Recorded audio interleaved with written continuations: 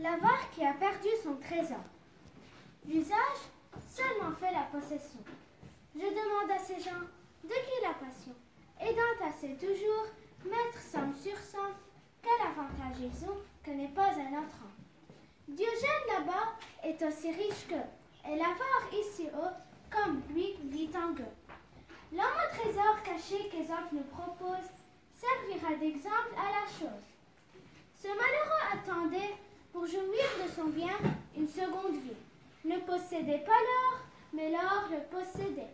Il avait dans la terre une somme enfouie, son cœur avec n'ayant d'autre déduit que d'y ruminer jour et nuit et rendre sa chevance à lui-même sacrée. Qu'il alla ou qu'il vint, qu'il but ou qu'il mangeât, à l'endroit où gisait cette somme enterrée. Qu'est-ce que je fais avec cet argent, puisque j'en ai pas besoin Il y fit tant de tours qu'un fossoyeur le vit, se douta du dépôt, l'enleva sans rien dire. Notre avare un beau jour ne trouva que l'ennemi. Voilà mon homme au pleurs, il gémit, il soupire, il se tourmente, il se déchire. Un passant lui demande À quel sujet s'écrit C'est mon trésor qu'on me l'a pris Votre trésor au prix Tout joignant cette pierre. Euh, sommes-nous entendre guère pour la porter si loin Ne soyez-vous pas mieux fait de le laisser chez vous en votre cabinet que de le changer de Vous auriez pu sans peine pousser à toute heure. À toute heure, bon Dieu, l'argent vient-il comme il s'en va Je n'y toucherai jamais Vous m'avez dépouillé de mon trésor. Où est-ce que vous l'avez caché? C'est pas moi. Alors dites-moi donc de grâce, reprit l'autre, pourquoi vous vous affligez tant, puisque vous ne touchez jamais à cet argent Mettez une pierre à la place, elle vous faudra tout autant.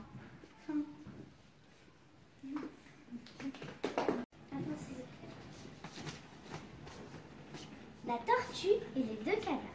La tortue, les deux canards. Une tortue était à la tête légère qui laisse dans son trou, j'en ai marre de ce trou, voulut voir le pays. Volontiers, on fait cas d'une terre étrangère. J'ai envie de voyager. Volontiers, j'en vois te haïsser le Je déteste mon trou. Deux canards qui le commère communiqua son beau. Lui dire qu'il avait de quoi la satisfaire. Bonjour, monsieur. J'ai envie de voyager. Je déteste mon trou. Voyez-vous ce large chemin Nous vous voiturerons par l'air en Amérique. Vous verrez marre de République. Et pour voir, vous profiterez des différents arts que vous remarquerez. Ulysse en fut entendre. On ne s'attendait guère de voir Ulysse en cette affaire. La tortue écouta la proposition.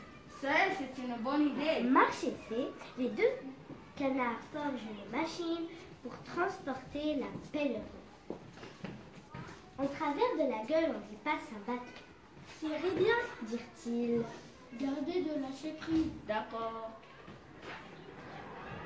Un, deux, trois, décollage La tortue enlevée, on s'étale partout. De voir en cette guise l'animal lent et sa mise. Justement, au milieu de l'un et l'autre oiseau. Miracle criait-on Venez voir passer dans les nues la reine des tortues. La reine, vraiment, oui, je le suis en effet. Secours Ne vous en moquez point. Elle eut beau me fait de garder son chemin, sans, euh, sans dire aucune chose, car en lâchant le bâton, en desserrant ses dents, elle tombe, elle crève au milieu des regardants. Impudence, babil, sauté, vanité et vaine curiosité sont tous en poisson et le pêcheur. Petit poisson, deviendra grand, pourvu que Dieu lui prête vie. Mais le lâcher, en attendant, je tiens pour moi que c'est folie. Car de le rattraper, il n'est pas trop certain. Un carpeau qui n'était encore que frétin fut pris par un pêcheur au bord d'une rivière. Au secours, au secours, lâchez-moi, je suis encore trop petit. Fait petit poisson, dit l'homme en voyant son butin. Voilà, commencement de chaque festin, mettons-le en notre Le pauvre Carpillon lui dit en sa manière. Que ferez-vous de moi? Je ne saurais fournir en plus qu'une demi-bouchée. Laissez-moi car devenir. Je serai par vous repêché. Quelques gros partisans m'achèteraient bien cher. Au lieu qu'il vous en faut chercher, peut-être encore sans de ma taille. Pour faire un plat, quel plat, croyez-moi? Rien qui vaille. Rien qui vaille et bien soit. Repartit le pêcheur. Poisson, mon bel ami, que faites le prêcheur, vous irez dans le poêle, vous avez des beaux dire dès ce soir, on vous fera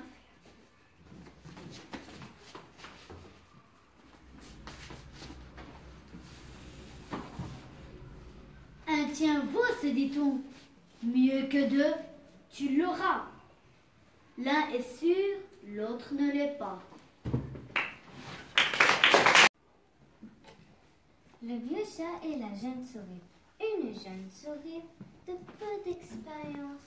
Où je suis, où je suis? Réfléchir un vieux chat, adorant sa clémence, péant de raison, leur ramène un Laissez-moi vivre, une souris de ma taille et ma dépense.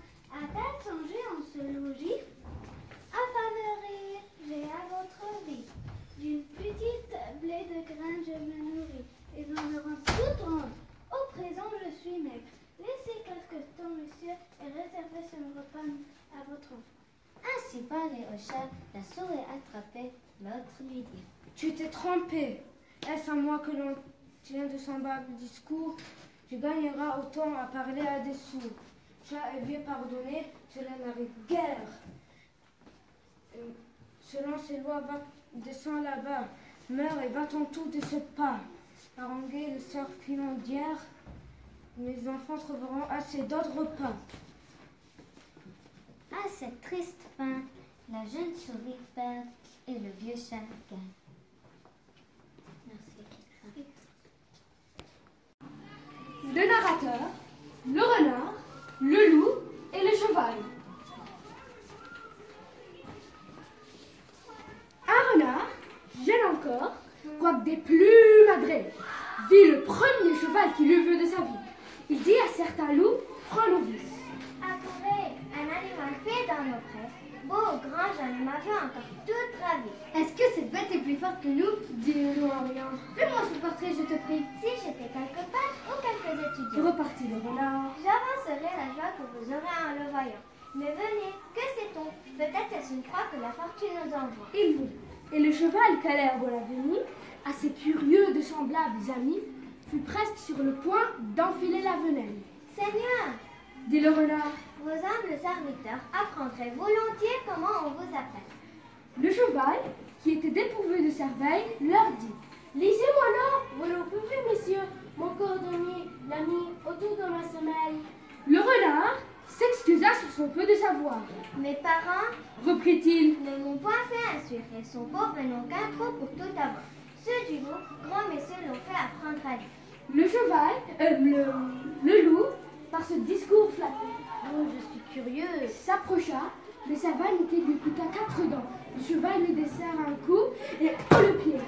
Voilà mon loup par terre, voilà en point, sanglant et gâté. Oh Dit le renard. Ceci nous justifie ce qu'on dit des gens testés.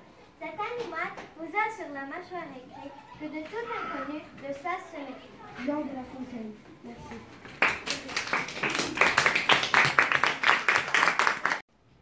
Narrateur, l'ours, compagnon numéro 1, compagnon numéro 2. L'ours et les deux compagnons. Deux compagnons pressés d'argent. Ah, je veux de l'argent. Moi aussi, je veux de l'argent, mais c'est pas aussi facilement que je le pense. Non, c'est pas aussi facile de le gagner que je le C'est la même chose. C'est pas la même chose. Tu dois l'écrire encore cinq fois. Alors voisin fourreur, en dire la peau d'un ours encore vivant. Mais qui tuerait bientôt, du moins ce qu'il dit. C'est le roi des ours. Je sais. Non, je sais pas. Le marchand à sa peau devait faire fortune. On pourra gagner beaucoup d'argent si on vend cette bête. Cette fois, tu as raison. Je sais, j'ai toujours raison. d'un de nous, prisez-moi si mouton que le ours, s'offrant de la livrer au plus tard dans deux jours. Dans deux jours. Non mais t'es folle dans trois jours. Non, deux jours. Et moi j'ai dit trois jours. Mais moi, je dis deux jours. Ils conviennent de prix et se mettent en quête. Trouvent lourd qui s'avance vers eux au trot. Ah, c'est gros Voilà, mes gens frappés comme d'un C'est un ours Le marché ne t'a pas, il fallut résoudre. D'intérêt contre l'ours, on n'en dit pas un mot. L'un de nos deux marchands au fait d'un arbre. L'autre, plus près qu'elle est un marbre, se couche sur le nez, fait le mort, tient son vent, et en quelque part lui dire que l'ours s'acharne peu souvent sur un corps qui ne vit, ne meut, ni ne respire. Seigneur ours comme un sot, donna dans ce panneau. Il voit ce corps gisant, le croit privé de vie, et de peur de supercherie, le tourne, le retourne, approche son museau, flaire au passage de la laine, C'est dit-il. un cadavre. Entends-nous car ils sont. À ces mots, l'ours s'en va dans la forêt prochaine. L'un de de de son arbre descend, court à son compagnon et lui dit Que c'est merveille qu'il n'ait eu seulement que de la peur pour ton mal, mais que t'as-tu dit à, à l'oreille car il s'approchait de bien trop en te retournant avec sa stère Il m'a dit Qu'est-ce qu'il t'a dit Ah, attends Qu'il ne faut jamais. Jamais quoi? Attends. Prendre la peau de de qui? Attends. Quand elle a mis par terre. Par terre Le lion, le loup et le.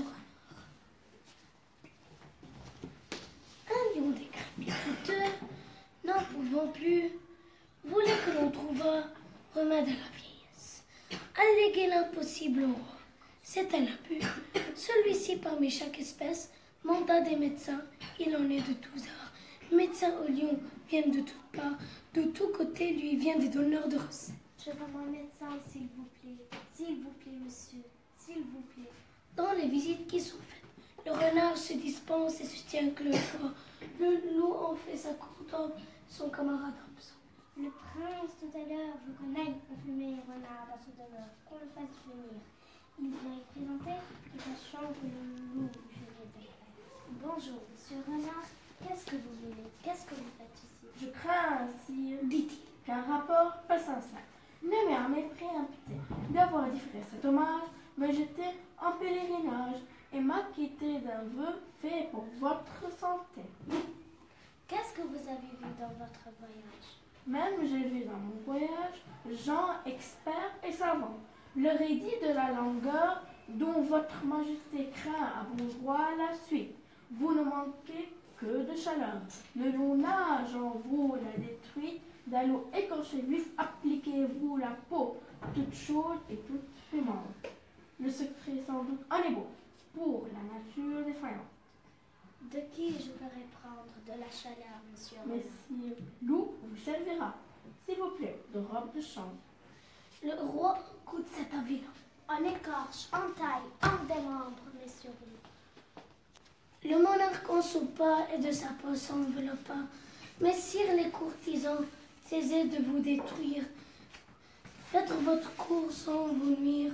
Vous êtes dans une carrière où l'on ne se pardonne. Merci. L'âne, narratrice, loup, chien. Il se faut entraider ces rois de nature. L'âne un jour pourtant se moqua et ne sait comme il manqua, car il est bonne créature. Il allait par pays accompagné du chien. Allez mon ami, gravement sans songer à rien, tous deux suivis d'un commun maître, son maître s'endormit, l'âne se mit à. Ils étaient alors dans un pré dont l'herbe était fort à son gré, point de chardon pourtant il s'en passa pour l'heure. Il ne faut pas toujours être si délicat et faute de service c'est heure. Rarement un festin demeure, notre baudet s'en enfin, passé pour cette fois, le chien mourant de faim. Lui dit Cher compagnon, baisse-toi, je te prie, je prendrai mon dîner dans le panier au pain. Point de réponse moule, le roussin d'Arcadie craignit qu'en perdant un moment, il perdit un coup de dent. Il fait longtemps le sourd d'oreille, enfin il répondit. Cher euh, ami, je te conseille d'attendre que ton maître ait fini son sommeil, car il te donnera ta pote à son réveil, la portion accoutumée. Il ne sera pas tardé beaucoup. Sur ces entrefaites, un loup sort du bois et s'en vient d'autres bêtes affamées. Hmm, enfin, un bon régal. L'âne appelle le chien à son secours. Le chien ne bougeait pas. En attendant maître s'éveille. Il ne serait tardé, détale vite et cours. Pendant ce beau discours, Seigneur Loup étrangla le body sans remède. Je conclus qu'il faut s'entraîner.